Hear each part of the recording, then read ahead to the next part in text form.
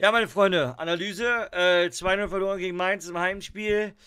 Wahnsinn. Wahnsinn, wie man sich selber dann doch schlagen kann oder wie sehr man sich selber auch wehtun kann. Ähm, Paradebeispiel dafür sind wir. Ähm, erstmal Glückwunsch an die Mainzer. Verdienter Sieg. Verdienter Sieg. Für uns verdiente Niederlage. Brauchen wir überhaupt nicht drüber reden. Ganz klar haben wir dieses Spiel bodenlos verdient verloren.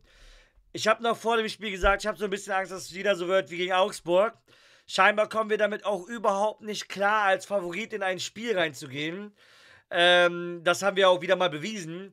Aber was ich direkt mal vorab sagen möchte, natürlich könnt ihr jetzt oder kann man jetzt auch sagen, das Spiel müssen wir abhaken.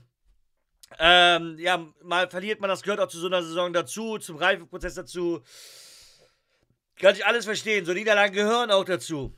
Keine Frage. Was aber nicht dazu gehört, ist diese Moral. Diese Moral und die Einstellung der Mannschaft, gerade in der zweiten Halbzeit, war absolut bodenlos. War das Schlechteste, was wir in dieser Saison bis jetzt gezeigt haben. Das muss man auch ganz klar festhalten. Mit Abstand das Schlechteste. Das hat auch überhaupt nichts damit zu tun, weil viele geschrieben haben, endlich habt ihr mal verloren, dann jetzt kommt ihr zum Boden der Tatsachen zurück. Und äh, dass uns das ja an Qualität dann fehlt und wir jetzt mal gesehen haben, was da Qualität ist. Völliger Schwachsinn. Völliger Schwachsinn. Dieses Spiel haben wir verloren, weil wir in der ersten Halbzeit nicht unsere Chancen genutzt haben, die ganz klar da waren. Dux völlig frei vom Keeper, schießt dem Keeper in die Arme. Absoluter Quatsch. Niklas Füllko kriegt den Ball im 16er, schießt den drauf. Abwehrspieler ist schon in dieser Laufbewegung drin, verhält den Ball dann ab, beziehungsweise wehrt den Ball dann ab, nimmt den Ball an, schießt dann drauf, kannst du freischießen. Gut, passiert aber, abhaken. Und dann die dritte Chance auch noch hinterher gehabt. Ähm, ich weiß schon gar nicht mehr, wer da der, der Schuss war. Auf jeden Fall war dann die dritte Chance noch. Ich glaube, was war sogar Füllkrug, oder? Ich weiß nicht. Ja, auf jeden Fall ähm, absolut hätten wir in der ersten Halbzeit auch Tore machen können und hätten auch äh, zur, zur Pause mit einer Führung in die Pause gehen können. So, aber stattdessen lassen wir es zu, dass Mainzer, die engagiert gespielt haben, immer besser irgendwie gefühlt ins Spiel kommen und mit schnellen, langen Bällen uns völlig aus den Angeln heben. Das Gegentor ist nur ein Paradebeispiel dafür. Es ist eine schnelle Situation, keine Frage, Rückwärtsbewegung dann sowieso schwer, aber es ist wieder ein Tor, was wir über die linke Seite kriegen. Jung und Friedel sind beide nicht beim Gegentor da. Pieper wurde vorhin auch im Chat kritisiert dafür, dass er nicht hingeht oder nicht äh, den Kopfball verhindert hat. Pieper Natürlich wäre es glücklicher gewesen, wenn er da irgendwie hingekommen wäre, in den Zweikampf gekommen wäre.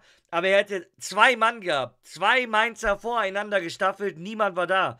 Die Abstimmung da war absolut scheiße. So, die Flanke wurde, konnte auch nicht mehr verhindert werden. Gruev hat noch alles gegeben, hat noch auch noch reingegrätscht, kam auch nicht mehr hin. Absolut abgefuckt, aber ist halt dann so, ist scheiße, musst du abhaken. Da musst du aber besser zurückkommen. Wir sind in einem Heimspiel. In einem Heimspiel, äh, so aufzutreten nach einer Pause, verstehe ich nicht. Du hast gemerkt, dass in der Halbzeit die Leute mit, einer, mit Wut im Bauch auch in die Halbzeit gegangen sind. Auch ein paar Unverständnisse wegen Schiedsrichterleistungen. Völlig richtig, völlig legitim. Der Schiedsrichter war bodenlos teilweise in der ersten Halbzeit. Ich rede jetzt nicht von klaren Fehlentscheidungen wegen dies und das, aber das Gesamte war einfach echt kaum. Also, ich fand den Schiri überhaupt nicht gut, meine persönliche Meinung.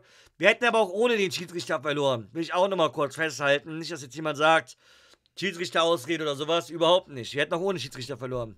Was mich aber so unfassbar stört, ist halt dann, da geht die zweite Halbzeit los und du hast in den ersten 15 Minuten schon gemerkt, alles verpufft. Du hast es nicht geschafft, diese Wut, Leidenschaft oder Druck aus der Pause mitzunehmen auf das Feld zu bringen, um dann in der zweiten Halbzeit richtig aufzutreten, um mit dieser Leistung auch rauszugehen. Du hast es einfach nicht geschafft.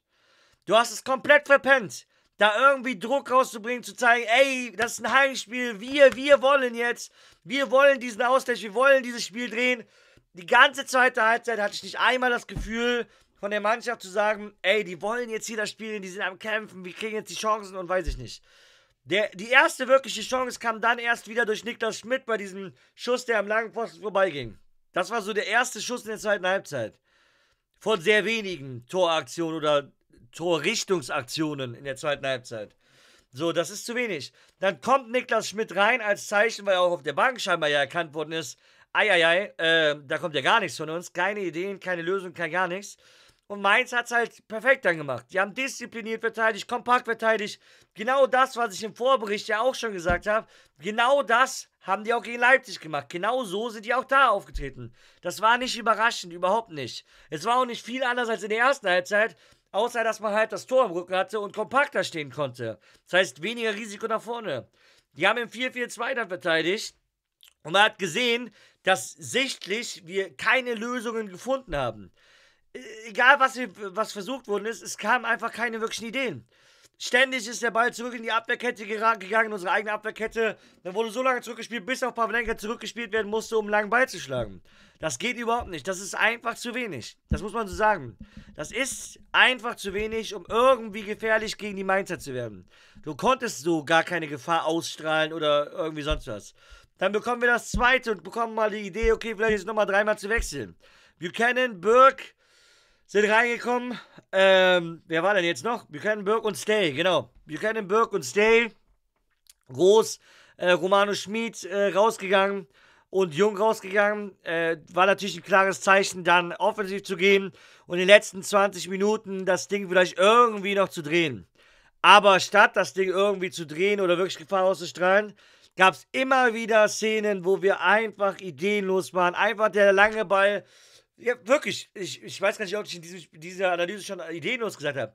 Dieser lange Ball völlig, völlig bescheuert. Einfach nur nach vorne geschlagen worden ist. Immer wieder in Richtung Zentners Arme. So gefühlt beim dritten Mal hätte man es auch verstehen müssen, dass das nichts bringt. Trotzdem immer weiter. Zack, zack, zack. Bringt gar nichts. Kein Plan. Füllkrug hatte heute wirklich einen schwarzen Tag, muss man sagen. Erste Halbzeit noch mit der einen Chance, aber auch da schon ging vieles nicht so ganz zusammen. Viele Missverständnisse. Zweite Halbzeit teilweise völlig abgetaucht, hast ihn gar nicht mehr gesehen. Durch am Ende die Rolle gemacht, äh, die wir oder die ja viele sich auch immer wieder mal wünschen. Dieses hinter den Stürmern dann gespielt. Fand ich gar nicht schlecht, hatte ganz gute Bewegungen auch, aber war am Ende alles äh, auch zu wenig. Du hast auch gemerkt, dass, äh, egal wie lange wir hätten jetzt noch gespielt, wir hätten da auch kein Tor gemacht. Wir hätten auch kein Tor gemacht. Dieses, dieses Ergebnis geht vollkommen in Ordnung für die Mainzer. Ähm, oder beziehungsweise der Sieg für die Mainzer geht vollkommen in Ordnung, die Niederlage für uns geht auch vollkommen in Ordnung. Es ist nur extrem schade, dass wir es halt einfach nicht schaffen, gegen Mannschaften, die in der unteren Tabellenregion oder beziehungsweise äh, direkte Konkurrenten auch auf gut Deutsch, dass wir da nicht bestehen. Dass wir da einfach es nicht auf die Reihe kriegen, wenn wir mal der Favorit sind, auch irgendwie so eine anständige Leistung zu bringen. Mainz hatte vor dem Spieltag aus sechs Spielen fünf Punkte geholt. Und irgendwie schaffen wir es trotzdem, Mainz stärker zu lassen als wir. Dann haben ein paar Leute geschrieben gehabt, Mainz wäre auch individuell besser und qualitativ besser besetzt als wir. Mainz hat Personalsorgen gehabt ohne Ende und wir spielen gegen Gladbach und äh, Dortmund, gewinnen gegen beide und die sind auch personell besser als wir. So. Aber finde ich gegen Mainz sogar, dass wir eher personell deutlich stärker aufgestellt sind und eigentlich mehr Qualität haben. Meine persönliche Meinung. Muss ja nicht jeder teilen, aber das ist so meine persönliche Meinung dazu. Äh, ich, ich sage ja, ich kann auch kaum noch was dazu sagen. Ich finde es sehr, sehr schade, wie dieses Spiel verlaufen ist. Es war, wären drei Big Points gewesen. Es geht mir jetzt nicht darum, irgendwie nach oben zu klettern, sondern den Abstand nach unten weiter auszubauen. Nur einzig und allein darum wäre es mir gegangen. Das wäre cool gewesen, das wäre wichtig gewesen. Aber so geht's halt dann nicht. Ne? Dann verlierst du dieses Spiel ich muss das auch jetzt erstmal verdauen, sage ich auch ehrlich. Und ähm, ja, mehr gibt es dazu gar nicht zu sagen. Schreibt eure Meinung gerne unten rein. Das war es erstmal von mir.